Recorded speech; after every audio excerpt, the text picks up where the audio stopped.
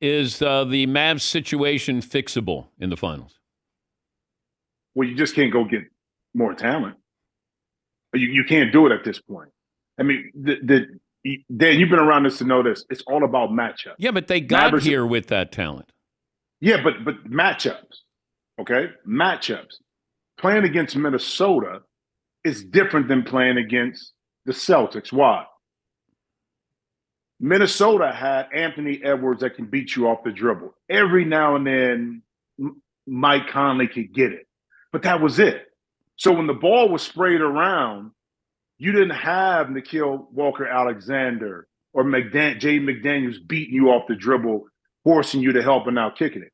Boston, when you put Kristaps in there, has five players on the court that when the ball rotates, you close out, they drive you, you try to stop them, they kick it, they drive it again. And they can either make a play for their teammates or make a shot. That's the challenge that the Mavericks have facing this iteration of the Boston Celtics is that you you you can't take everything away. So that's why I say it goes back to matchups. Minnesota matched up better with Denver. Dallas matched up better with Minnesota. But this is a tough defensive matchup for the Mavericks versus the Celtics.